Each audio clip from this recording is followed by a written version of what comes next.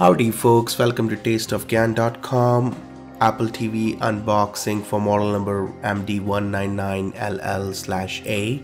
The device itself is pretty well designed. Once you have it in hand, you'll be amazed on how small it is. It just right fits in your palm.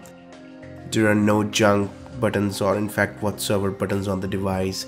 There is absolutely nothing, just a LED indicator in the front and on the rear of the device you have uh, power, HDMI and uh, optical audio jacks. It comes with a remote which is a metal remote with hardly few buttons on it. Pretty much every operation can be done through these buttons. Very well designed again.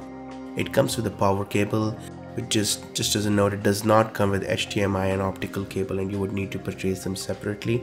In addition it comes with an instruction manual or setup guide a warranty card and a couple of Apple uh, stickers so that's pretty much you have in the box um, very clean packing and, uh, and, and, and a very nice device.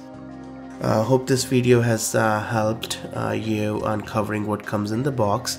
And uh, thank you for watching